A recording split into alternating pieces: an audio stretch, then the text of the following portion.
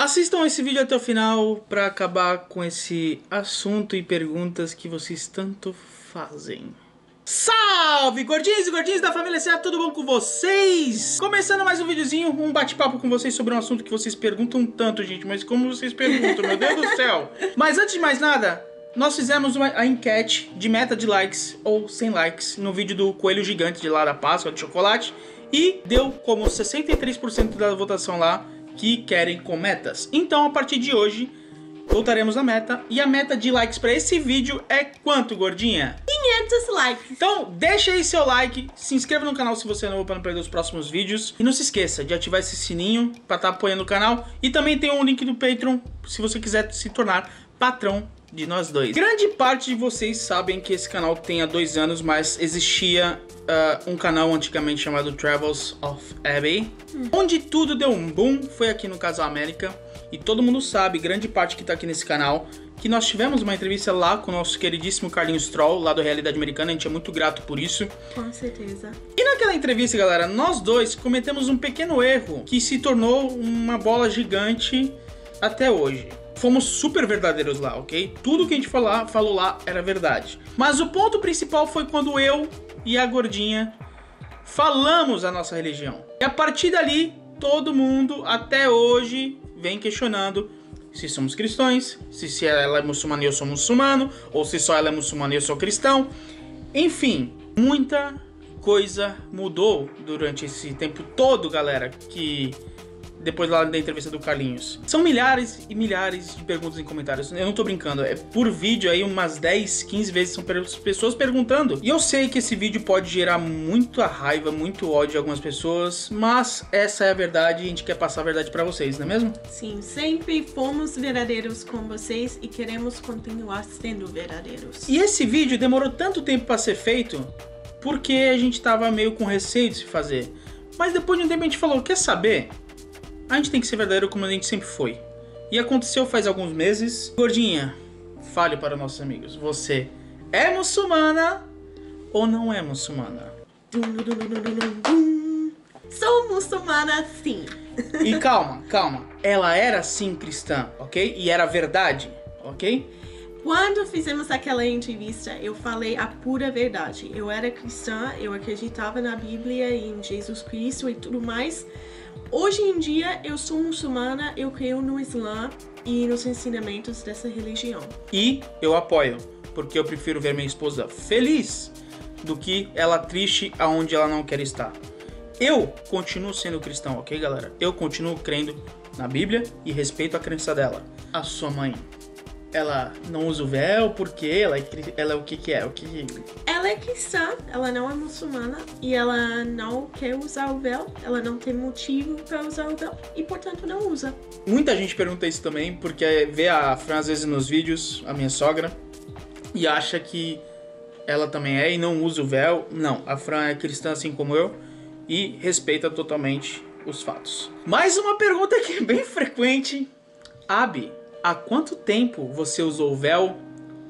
Quanto tempo você deixou e voltou? É, você usa o véu por quê? Eu comecei a usar o véu em dezembro de 2013.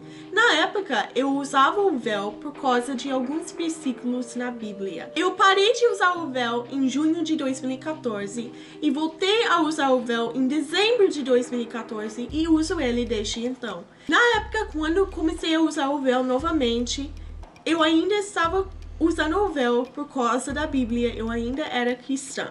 Gente, eu esqueci de uma coisinha. Hoje em dia eu ainda uso o véu chamado hijab por causa dos ensinamentos do Islã. Dan, como foi para você? No início a gente tava. Ela usava o véu na, na, na, no Skype comigo, depois não usou mais, depois foi para Portugal sem o véu, já tinha me acostumado e tudo mais e depois ela decidiu voltar. Foi um pouco difícil para mim, foi difícil um pouco aceitar isso, até mesmo quando ela se converteu. Eu acho algo engraçado. Uh, ele, quando eu voltei a usar o véu, ele falou para mim você ainda vai se converter pro Islã. Falei, não, nunca, nunca, isso nunca vai acontecer. Ele falou, eu te conheço, eu sei para onde vai esse caminho que você tá seguindo. Eu não acreditei. E outras amigas minhas falaram a mesma coisa para mim. Até amigas muçulmanas falaram, um dia você vai se converter, tenho certeza. Todo mundo falou isso pra mim, eu não acreditei. Mas essas pessoas tiveram razão. Por que você se converteu? Primeiramente, antes de responder, quero só falar uma coisa. Eu respeito todos e respeito a religião de todos. E tudo que eu vou falar, eu falo com todo respeito. Eu apenas estou sendo honesta e sincera, ok? Eu comecei a ter dúvidas sobre a Bíblia em 2014, 2013, por aí. Assim, eu tava namorando um cristão, não era ele, era outro homem. Eu tinha medo de ouvir meu coração porque eu não queria perder aquela pessoa. Mas Deus teve um plano bem melhor. Eu perdi aquela pessoa e ganhei essa pessoa. Mas eu tentei, tentei ignorar minhas dúvidas. Afinal, eu, depois de estudar a Bíblia durante anos, depois de ler a Bíblia várias vezes, eu cheguei a entender que eu não acredito em tudo que tem na Bíblia eu não consigo ver a Bíblia como um livro perfeito. E eu acredito que Deus seja perfeito. Se esse livro não é perfeito e Deus é perfeito, será que esse livro realmente vem de Deus? Esse foi meu pensamento, mais ou menos. E aí eu comecei a pesquisar e estudar e o Islã sempre foi atraente para mim. Eu sempre gostei do Islã. Eu naturalmente comecei a ir para aquele lado, eu comecei a estudar sobre o Islã, li o Alcorão, comecei a orar e eu cheguei a acreditar 100% nos ensinamentos do Islã. Eu acho que eu sempre tive dentro de mim as crenças básicas do Islã. Eu simplesmente não sabia que o Islã era o nome certo para o que eu sempre acreditei. E agora eu sei que esse é o nome certo. Entendeu? O que é ser muçulmana?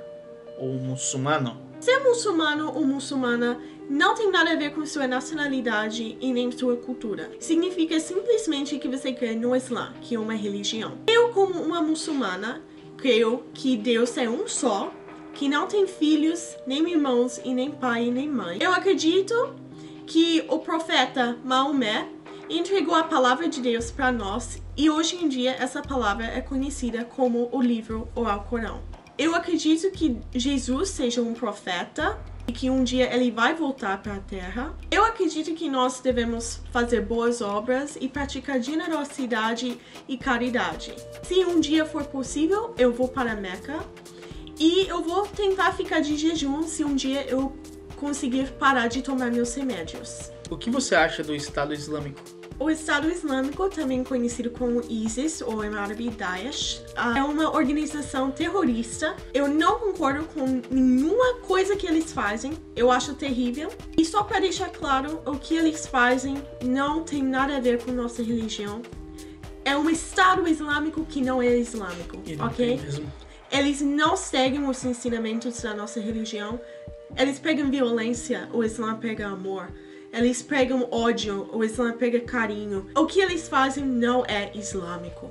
Posso falar para vocês, eu como cristão, eu nem queria falar mais sobre a minha religião, mas eu tenho que falar para mostrar para vocês que é possível ter amor e carinho sendo de religiões diferentes e respeito. Eu já fui numa mesquita.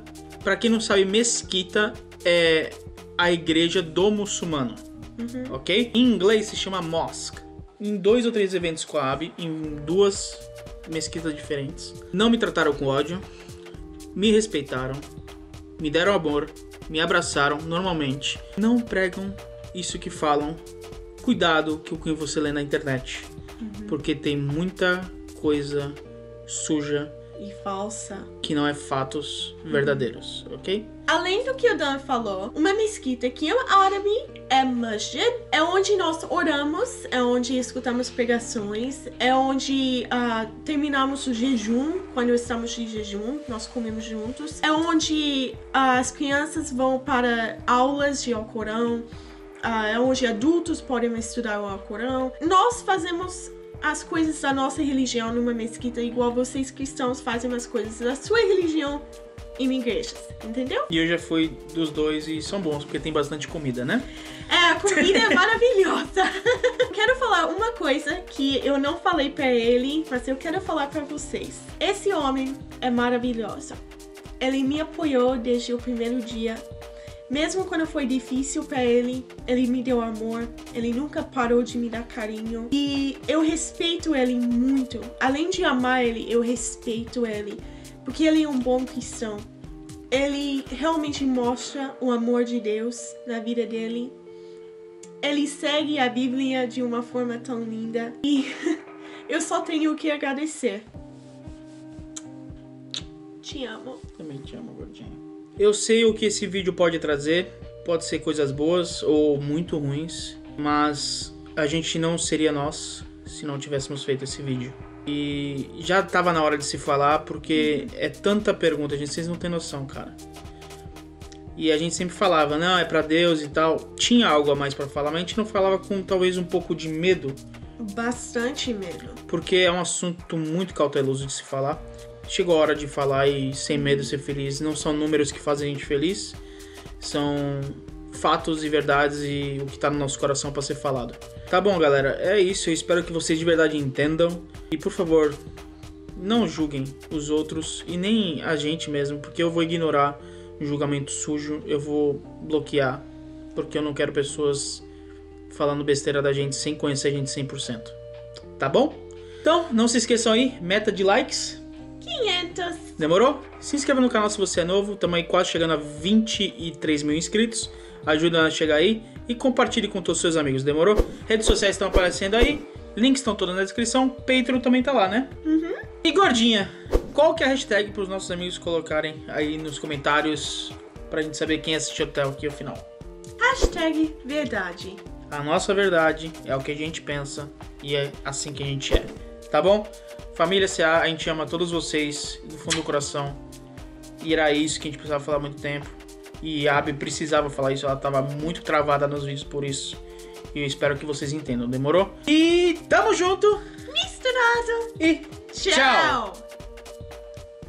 Mua.